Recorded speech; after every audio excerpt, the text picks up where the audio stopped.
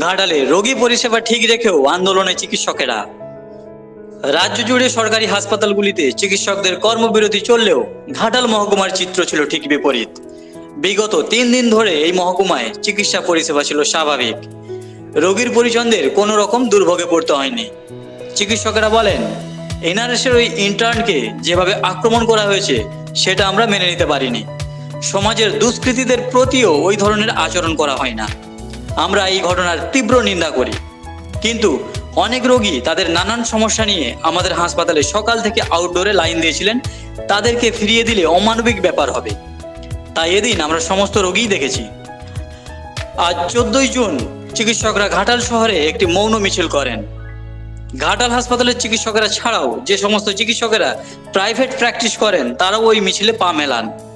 ঘাটাল হাসপাতালের মেডিসিনের চিকিৎসক ডাক্তার এইচ কে পাল বলেন যথাসাধ্য চেষ্টা করবেন যে হসপিটালের মধ্যে যেন পরিষেবা থাকে এবং অযথা যেন আমাদের কোনো সমস্যার সম্মুখীন না হতে হয়। এই আশ্বাস নিয়ে আমরা পেয়েছি আশা করব উনি ওনার কথা রাখবেন।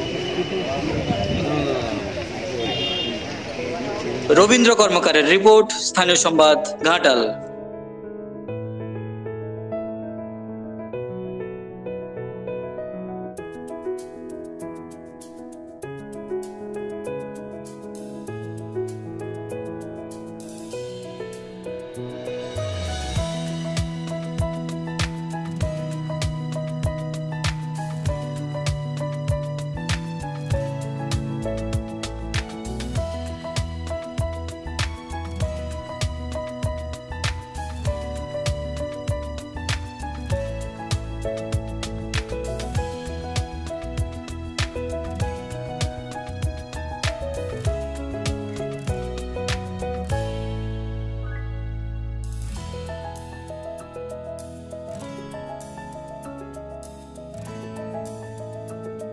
ঘাটাল মহকুমার সমস্ত খবর সঙ্গে সঙ্গে পেতে আমাদের এই চ্যানেলটিকে সাবস্ক্রাইব করুন।